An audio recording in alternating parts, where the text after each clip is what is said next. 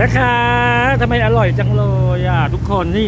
แกงเหลืองนี่หน่อไม้ดองหรือหน่อไม้สด หน่อไม้ดองค่ะอร่อยมากเลยใส่ปลาทะเลค่ะปลาทะเลอร่อยมาก อันนี้ EP 2 จะได้แบบ อันนี้แกงกล้วยจ้ะเราชอบมากกล้วย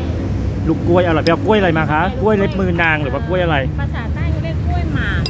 เหรอใช่ค่ะไม่ใช่กล้วยน้ำว้าทั่วไปหรอไม่ใช่ไม่ใช่กล้วยน้ำว้าแกงไม่ได้ถ้าแกงเอาจริงเหรอในแกง แต่นี่อ๋อเหรอเป็นกล้วยหมากแล้วไปเอาจากไหนกล้วยหมากซื้อมาจากร้านที่เขาขายเครื่องแกงใต้โดยเฉพาะเลยอะค่ะเอาแล้วมันไม่มีหมดเหรอ ไม่มีค่ะเขามีส่งทุกวันก็ส่งมาแบบรถตู้อะที่ตลาดสะพานไหนซื้อได้อืเฉม พาะอย่างเฉพาะร้านใต้อะค่ะเราเคยปั่นจักรยาน เห็นกล้วยดิบๆอะนึกในใจจะแกงเอามาแกงใต้นะ แกงไ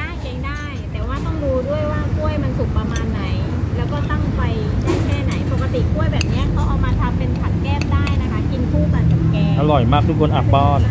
กินทุกอย่างอืมอันนี้ยอดมันปูกินคู่กันได้ยอดมันปูอะ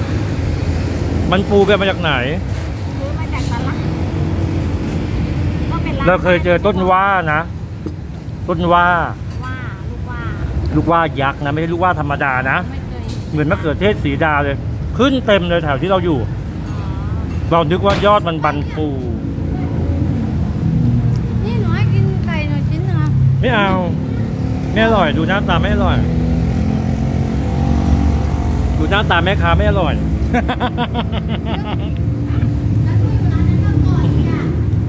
เป็นไงบ้างอะของชอบแซวเล่น อันนี้ไข่ดาวเค็มนะคะ ไข่ดาวเค็มมนูหลักของเด็กนักศึกษาเขาจะทานไข่ดาวเค็มกับคั่วกลิ้ง อ๋อคั่วกลิ้งที่นี่ย่านเกษตรไงทุกคน นี่เกษตรแฟร์แถวนี้อ่าไข่ดาวเค็มกับคั่วกลิ้งเป็นเมนูเด็กใต้ช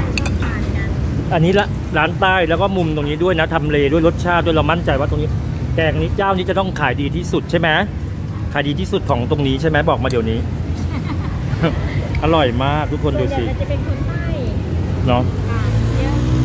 อืมต้องเป็นคนที่ทานรสจัดอืมอ่าต้องเป็นคนที่ทานรสจัดทานแล้วแบบว่าอร่อยเขาอะค่ะมันได้กลับบ้านอะไรอย่างเงี้ย คนที่กินแกงใต้เป็นนี้ บอกได้เลย โคตรมีบุญเลย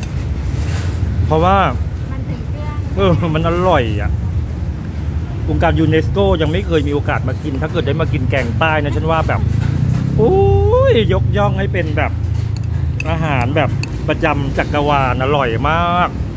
กัวกิ้งก็อร่อยเนาะแกงหอยขมก็อร่อยแกงเหลืองหอยแกงใบใส่มันขี้หนูอะไรประมาณเนี้ยเนาะค่แกงเหลืองใส่สับปะรดอย่างเงี้ยสารพัดใช่ใช่นี่ขนาดต้มขมิ้นนะยังดูแบบ นี่เป็นคนใต้นะยังรู้สึกเลยว่า ธรรมดาอ่าแต่จริงๆมันอร่อยมาก เพราะหากินยากมากก็เป็นเมนูของคนใต้ที่แบบขึ้นชื่อมาก แต่นี่ขนาดคนใต้เองเราจะไปเน้นแบบแกงเหลือง แกงอะไรที่มันเข้มข้นเผ็ดๆหน่อย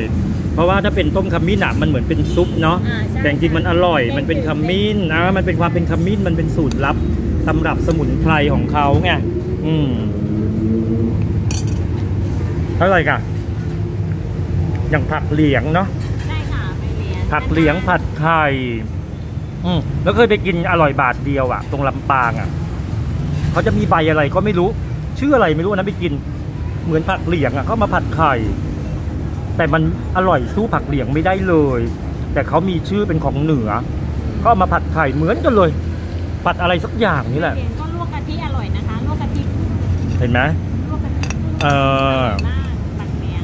ถ้าอยู่กรุงเทพก็หายากหน่อยอะค่ะเอ